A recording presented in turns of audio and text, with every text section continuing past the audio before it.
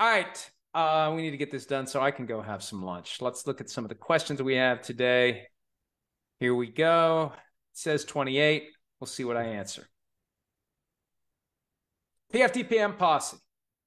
You mentioned that you think a good player defense in a gambling policy situation could be I wasn't properly educated on the policy, but how would that work in the NFL secret rig kangaroo court based on what we know? It wouldn't work. And you're absolutely right. It's one of the reasons why when the NFL approaches players with news that number one, you violated the gambling policy, and number two, here is the suspension that we're going to impose upon you. And then number three is if you fight it, it's going to be worse. Every one of these suspensions, going back to Calvin Ridley in 2021, happened through negotiation between the league and the union. And how much negotiation can there be when the player has no leverage? There's no evidence presented, there's no proof presented. The NFL has put through no steps to show that the player actually did it or that the player was properly educated. No, we have you, you're busted. And if you fight it, it's only going to be worse. And everybody has cried uncle. So that's the problem with a policy that was not the product of collective bargaining that has an ineffective dispute resolution program that gives the commissioner full power to decide on a case by case basis what the penalty is going to be. They've got the hammer and they're not afraid to use it. And for non players, it's even worse. For non players, they're basically told pack your things and go, no questions asked. That's that's another angle that we've been delving into just to show how the NFL is trying to walk this tightrope between gimme, gimme, gimme when it comes to sports book money and get the hell out of here when it comes to somebody who may have just participated in a March Madness bracket for money. That's enough to get you fired if you're a non player in the NFL. PFTPM posse. Should I answer this one?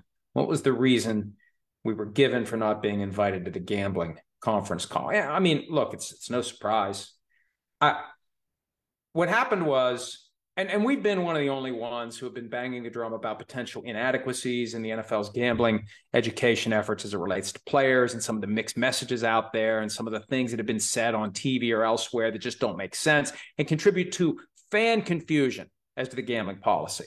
So I started seeing tweets on Tuesday about things that a compliance officer was saying and the new six rules of the things that players can't do and when you start seeing it pop up from several different reporters, it's like, did they have a conference call and they didn't tell us? Because we usually get invited to pretty much every one of these, even the ones that are for a select few. We get invited. Maybe not now. Uh, so I started poking around and I decided, you know, in a situation like this, I, I will go directly to the people responsible for it. I won't complain over their head like some would do with me. I go directly to them and I say, what's going on here? What happened? And, and I was told basically in a nutshell, You've been asking questions about the gambling policy. We've been providing you information. We basically decided you didn't need to be involved in this, which is ludicrous, frankly. I mean, it's a great spin. I credit them for coming up with a way to try to semi plausibly thread the needle. Well, you know, you've been asking a lot of questions. We've been giving you a lot of answers. So we're going to have this open on the record conference call. And you don't need to be one of the ears on the line and potential voices asking questions because you've been taken care of separately. It's ludicrous when you think about it.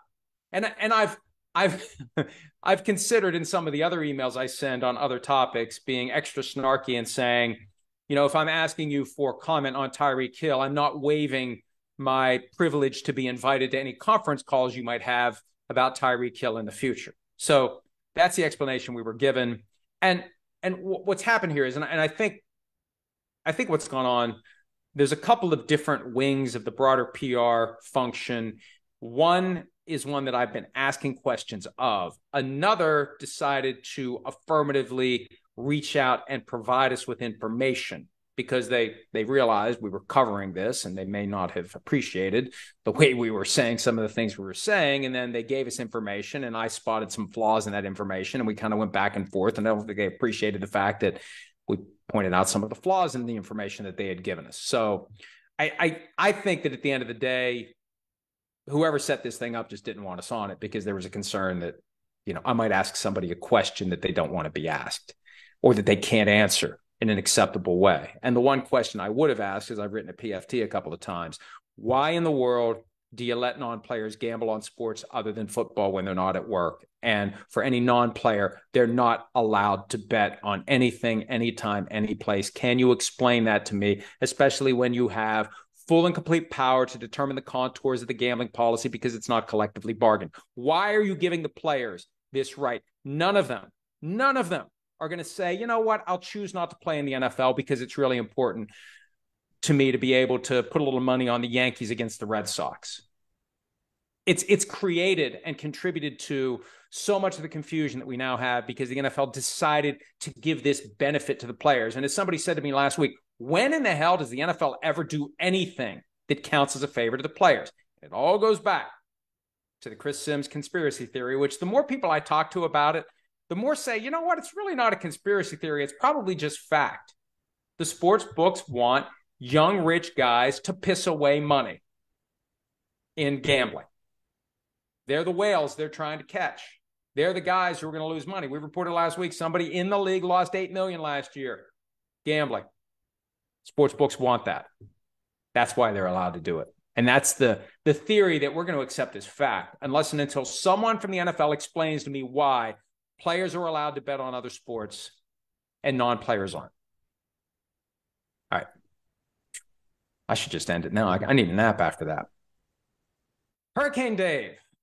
He's got a few questions. My God, how many's he got here?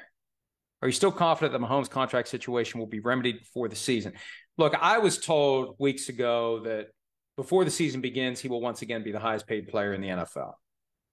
And I know he said it's not about money, it's about championships and yada, yada. Well, look, when he got his most recent contract three years ago, it jumped the highest paid player in the NFL by 10 million a year. And now he's been jumped by 7 million a year by players who aren't in his same category. All due respect to Jalen Hurts and Lamar Jackson, you're not Patrick Mahomes. You're not the two time MVP. You're not the two time Super Bowl MVP. You haven't been to the Super Bowl three times. Those guys haven't been to the Super Bowl one time. Well, Hurts has, but you get my point. Lamar Jackson currently at 52 million per year is a one-time NFL MVP from four years ago. That's that's it, and it's nothing to, to to sneeze at. All I'm saying is, most reasonable people and even some unreasonable people would conclude that Patrick Mahomes should be making more than Lamar Jackson. And and now that Hurts is making six million per year more than Patrick Mahomes, and Patrick Mahomes just beat him in the Super Bowl, you, would think that this is going to get rectified. So I still think it's going to get remedied before the season starts. I think the Chiefs would love not to be able to do it, but I think the Chiefs recognize at some point it just looks too bad on them, and it looks bad on him. It looks bad on him to not being not be paid what he properly should be paid. It makes him look like he is being taken advantage of. It makes him look like a sucker. And I don't like it when the best player in football, who should be making more money than anyone else, is so woefully underpaid to the point where there's a risk that he's going to look like a sucker. Uh, all right, let's see. So we have here. Um, people ask me about people ask me about who I'm targeting for my fantasy team this year, and I just don't. I I, th- I think that they're trying to set me up to to to respond by saying we don't give a shit because nobody does. Um, Jeremy Dodd, do you see a situation where all of the running backs in the league would do some sort of a strike, like not attending training camp? I realize they know they'll get fined, but what's a team to do? Start training receivers to pass block. Somebody suggested that to me last week because, yeah, look, I believe that the running backs should come together and create their own bargaining unit. There was an effort to do that four years ago. I don't know whatever happened with it. It wouldn't be easy to do. The union would fight against it, the league would fight against it. But I think it's only fair for the running backs to have their own voice to represent and advocate their unique interests when it comes to how they get paid, when they get paid, what they get paid. And somebody I was talking to last week said, yeah, they should all hold out. Well, first of all, it's not going to happen. It's not going to happen. They're not going to all hold out. Maybe you could get the best of the best to hold out, but what does it prove? They get fined. For guys on their second contracts, those fines can no longer be waived. What does it prove? What are you going to get from it? You're not going to get anything from it other than a significant bill that you're going to have to pay. Now, it was then suggested that maybe they should just threaten to hold out, and that would get coverage of the possibility and bring attention to the issue between now and the start of training camp. And I, can live with that. But if they don't really intend to hold out, I don't know. How much attention does it really generate? I mean, maybe, maybe, it, hey, it's quiet time. maybe if there's some huffing and puffing, even if they're not going to blow the house down, we cover the huffing and the puffing and we bring more attention to the issue. It seems like others are are cognizant now of the unfairness of the current system for running backs, whether it's the contracts they sign, the fact that they are are being paid very little during the years where they're doing a lot. Maybe they should have a quicker path to free agency. Maybe there should be a league wide fund that pays them as they go. Whatever it is, we need to do something to make the system more fair to the uh, the running backs in the National Football League. Lee Dale UK, hello from the UK, and a fellow AOL user, you and Simms have talked about the depth of the AFC a lot. Which of any AFC teams have almost no playoff chance would have a shot in the NFC? The Texans, and which NFC contenders would have no chance in the AFC? I think the Texans would. If you put them in the NFC South, the Texans would would have a better shot than they have in the AFC. I think the only team in the AFC this year that truly has no shot is the Texans, which means and maybe the Raiders, which means both will probably make the playoffs. Last year I said the Jaguars, Jets, and one other team had no shot, and the Texans. And the Jaguars made it, and the Jets were alive for a while. And the year before, we did a draft on PFT Live or PFT PM about the teams that have no shot of making the playoffs league wide. I picked the Bengals and they went to the Super Bowl. So I'm out of the business of flagging the teams that have no shot. But in the NFC, look at some of the teams in the NFC you would drop into the AFC and they would just sink like a stone. A lot of the teams, really, other than the Eagles and 49ers, a lot of those other teams, uh, the Cowboys, I think, would be viable. The Giants would probably have a chance. The Vikings would be seven and 10 and maybe alive the last two weeks of the season, maybe not. Most of the teams in the NFC, though, you throw them in the AFC and they are done. That's why I think this year, and whether this is the Seahawks or the Vikings or the Lions or the Saints, the Eagles and the 49ers are the two best teams in the NFC. And both of those teams would have a pretty good shot against the AFC champion. But it doesn't take much to throw a team off. Injuries, ineffectiveness, a couple of bad losses. All of a sudden, they got to go on the road in the playoffs. If the Eagles or the 49ers or both of them wobble, it opens the door for one of these other NFC teams to slip through. But the problem is, for one of those other teams, they slip through and they come up against the Chiefs, the Bengals, the Bills, the Ravens. They're done. They're done. You would need a team to slip through from that AFC field if you're going to be one of the teams that slips through from the NFC field. But it still is. It still is. We're not handing the trophy to anybody. It still is wide open, but the AFC has a cluster of great teams, and they're going to be teams that don't make it to the playoffs in the AFC that if they had gotten in, if they had gotten a seat at the table, they'd be good enough to run the table and win the Super Bowl. All right, let's see what else. What, Robert, why is it called PFTPM if you tape it in the morning? Well, you get it in the afternoon, Robert. It comes out in the PM and it's always been PFT PM. So the earlier I tape it, the more likely it is to be available to you at some point after 12 o'clock Eastern. I hope that answers your question. Troy Walters, will Tyreek get the Ezekiel treatment from the NFL, even without a conviction? Do you think he will receive a suspension for violating the personal conduct policy? Do you think the NFL is indicating they will respond by their latest statement on this? Well, the NFL has no statement officially. They've said no comment, but it's the NFL's website that has the statement that the NFL sought through NFL media from the Miami Dade Police Department that the investigation against Tyreek Hill is still ongoing. Here's the thing about the personal conduct policy once a guy gets himself in any type of controversy, the league can basically do whatever it wants. It can be as aggressive as it wants, it can be as inclined as it wants to look the other way.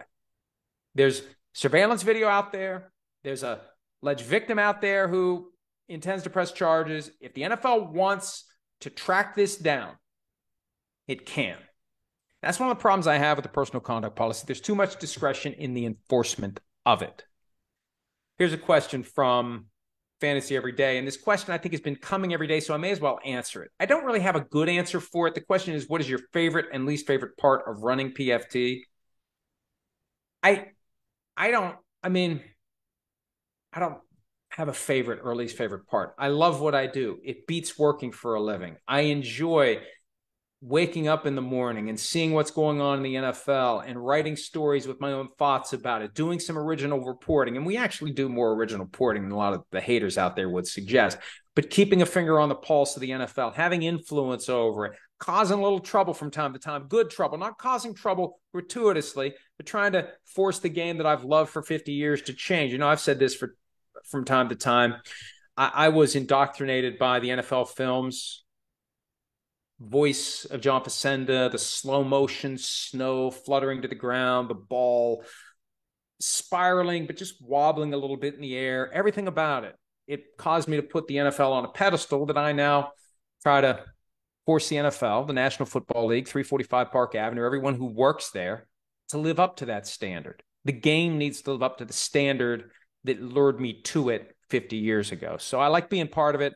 I like interacting with folks. I like providing people a distraction and a diversion from whatever stuff they're dealing with day to day. That's how I've come to terms with the fact that I really don't contribute jack diddly squat to society other than to to give you something you can listen to, you can read, you can spend time on that is different from the stuff that you have to deal with that you'd rather not deal with. The best part for me is there are limited things in my life that I have to deal with that I don't want to deal with because my job is something that I enjoy doing every single day. Let's see what else we have here. There's a. Eh, eh, eh, I'm afraid that some of these are going to cause me to have too long of an answer. If there's something you really want to have answered that you've asked today that I haven't answered, try tomorrow and maybe we'll get into it. Um, John Richardson asks about a potential Davante Adams suspension. Remember, he he pushed in plain sight the ESPN staff worker down to the ground, and there's still some pending something over that. And the NFL could could impose discipline under the personal conduct policy, but the NFL has developed a habit post Ray Rice of waiting until the criminal process completely ended before the NFL does anything. But that's still potentially out there. But you know, the baseline suspension for assault is six games and it can go up and it can go down. So six would be the baseline, but you know, we saw it. It wasn't egregious. Would it be less than that? I don't know, but it is something to keep an eye on as uh, time goes by and as presumably the formal legal process comes to a conclusion. JC Carm, who is your favorite broadcast team?